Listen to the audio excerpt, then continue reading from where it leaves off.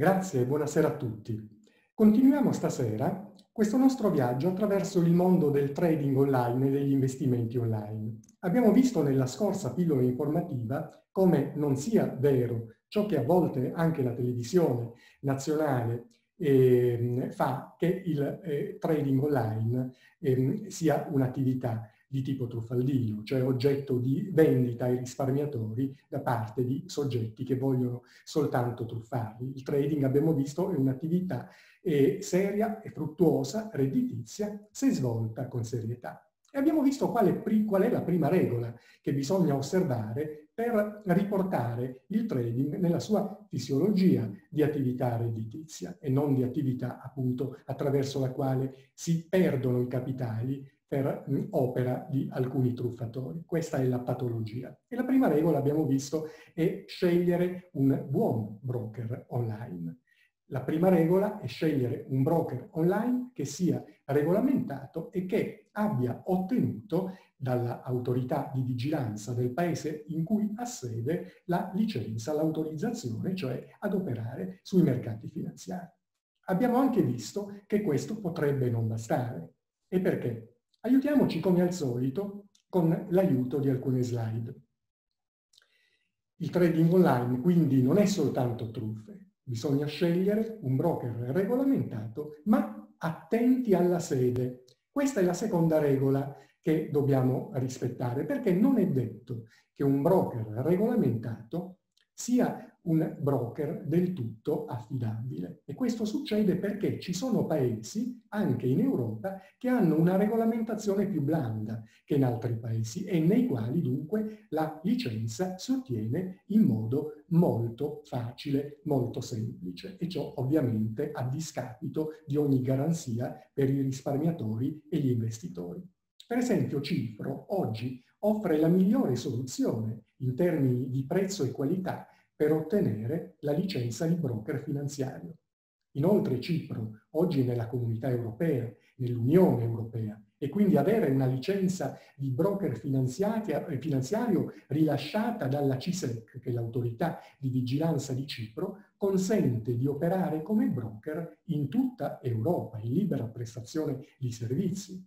Però dovete sapere che molti broker, anche non regolamentati, hanno sede a Cipro Prima dell'entrata nell'Unione Europea, infatti, lo Stato era da considerarsi un paese in blacklist e dunque una sorta di paradiso fiscale, ma anche broker regolamentati hanno sede a Cipro ed operano oggi secondo le normative europee.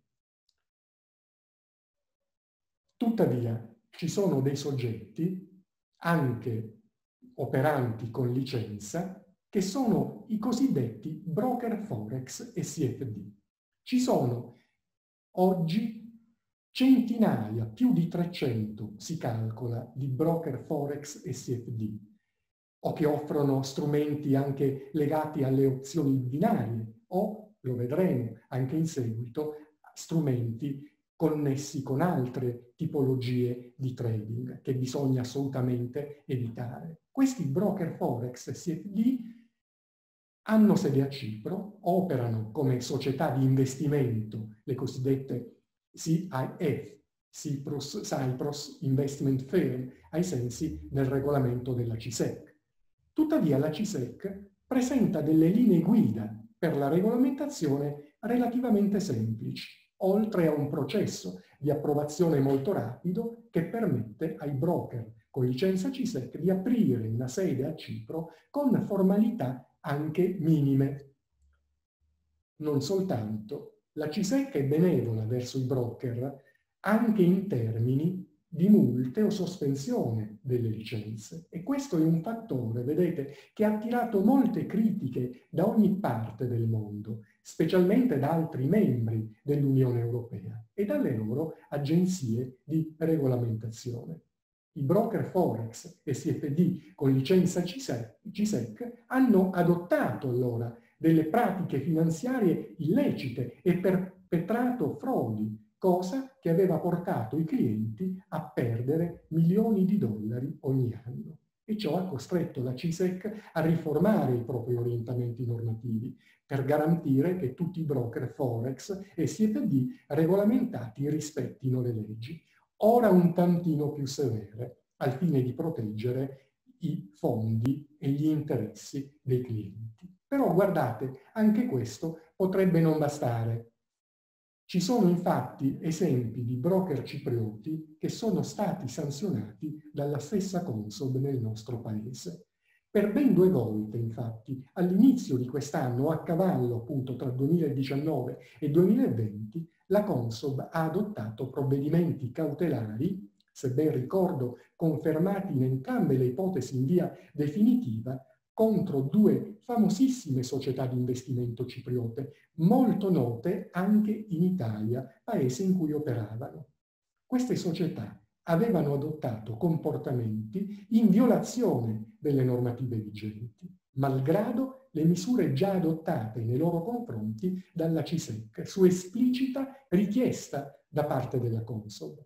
Erano giunti infatti all'autorità di vigilanza diversi alert da parte degli investitori italiani in relazione soprattutto alla vendita di CFD che già la Consob, di cui già la Consob aveva molto ristretto e regolamentato la vendita nel nostro paese. Ebbene, in questi due casi della Consob appunto contro le due società cipriote, le lamentele dei trader facevano riferimento a circostanze note a chi purtroppo subisce delle truffe. La perdita totale del capitale investito, l'irregolarità nella classificazione della clientela, cioè dei poveri investitori retail venivano classificati come professionali, appunto alla, con la finalità di poter vendere strumenti rischiosi, l'applicazione di tecniche di marketing aggressive.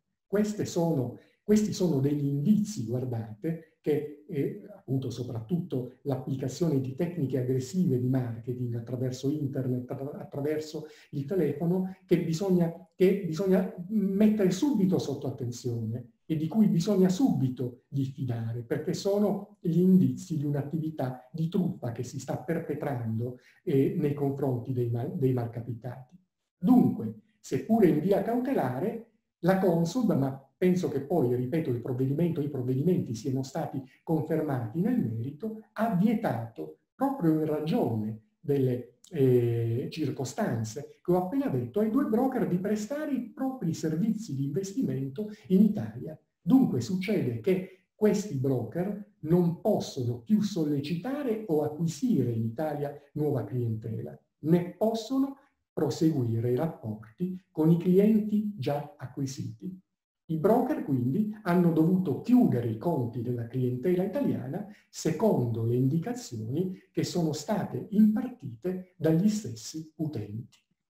Anche per stasera, quindi abbiamo finito, ma il discorso non finisce qui. Ci sono altre regole che bisogna osservare per essere sicuri di imbattersi in broker seri quindi non soltanto regolamentati, non soltanto autorizzati, ma che siano sostanzialmente affidabili e di queste regole ne parleremo nei prossimi video. Continuate a seguirmi allora. Io per ora vi ringrazio e vi auguro una buona serata. Linea alla regia.